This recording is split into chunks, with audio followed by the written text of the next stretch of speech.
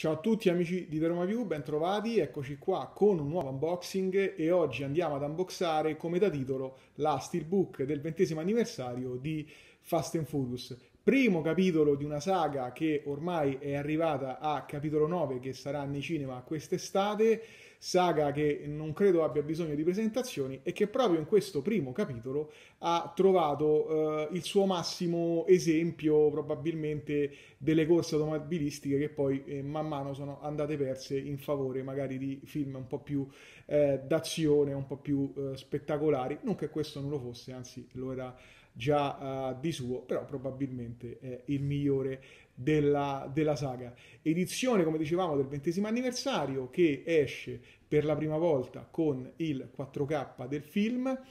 Ottime notizie da questo punto di vista, nonostante il master eh, del, della precedente uscita, quella del 2009, del Blu-ray che è presente all'interno di questa confezione, era già di per sé un ottimo master, con il 4K andiamo a migliorare da un punto di vista di definizione, colori e quant'altro. Non c'è un grandissimo balzo in avanti, ma le differenze sono percepibili e sono eh, da promuovere in pieno. È una steelbook, eh, devo dire, di linea abbastanza economica, dopo andremo a scoprire perché e la trovate disponibile in due edizioni. In questa edizione che vi vado a presentare io, che è l'edizione dei poveri, e poi c'è l'edizione un po' più da eh, collezionisti che vogliono avere anche un po' di feticcio, con un po' di eh, gadgettistica cartacea, in questo caso cartoline e due piccoli booklet uno sul, sul, film con la sceneggiatura e l'altro eh, non ricordo se è presentazione di personaggi o quant'altro, insomma comunque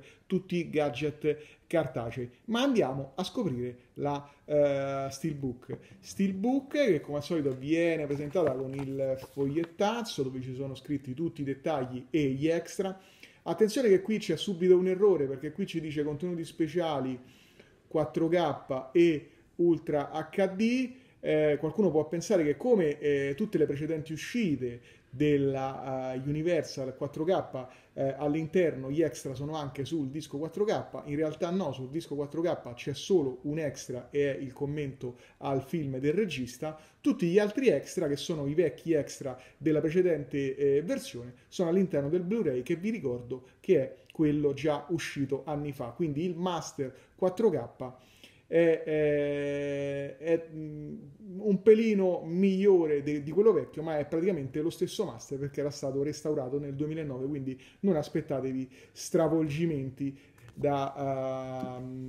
dal master 4K. Questa è la Steelbook, figura intera, guardate, secondo me è molto molto bella graficamente, anche se magari non si sono sprecati come artwork, però riprende uno dei tanti poster ed è veramente eh, bello ed evocativo. Dalla parte eh, posteriore troviamo anche quest'altra bellissima immagine. Se la andiamo a vedere a figura intera, eccolo qui, guardate che sciccheria. Devo dire che esteticamente, per quanto riguarda l'artwork, è molto bello. La Steelbook invece è di quelle sottilinee, di quelle un po' più economiche, insomma, è abbastanza sottile, appena la la, note- la, la, prenderete, insomma, la noterete al tatto che è più sottile rispetto magari ad altre stile come quelle che usa spesso la Disney. All'interno abbiamo questa splendida immagine di protagonisti giovanissimi e poi ovviamente i due dischi, il nuovo disco 4K e il disco eh, Blu-ray. Il disco 4K, come vi ho già accennato, ha uh, un uh, buon miglioramento per quanto riguarda la risoluzione, definizione uh, del quadro, ovviamente va a maggiorare la risoluzione. I miglioramenti sono lievi perché il master è più o meno quello del 2009, quindi quello già restaurato per il decimo anniversario del film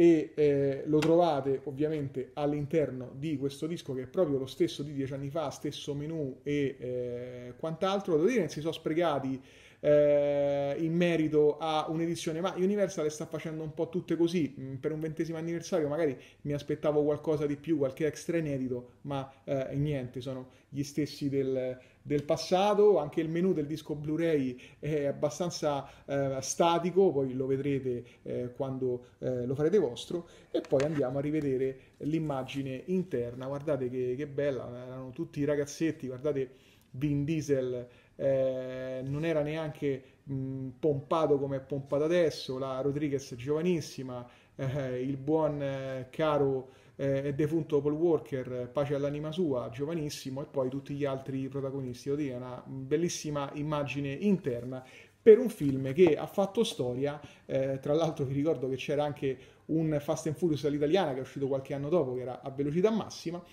con eh, Valerio Massandrea come protagonista e questo era ragazzi la steelbook di eh, Fast and Furious come al solito vi lascio in descrizione i link ad Amazon DVD Store se siete interessati a questa versione o alla versione da collezione. Se vi è piaciuto questo video mettete un bel like, se vi fa piacere iscrivetevi al canale e attivate la campanella per restare sempre aggiornati sull'uscita dei prossimi video e noi ci vediamo alla prossima. Ciao ciao a tutti!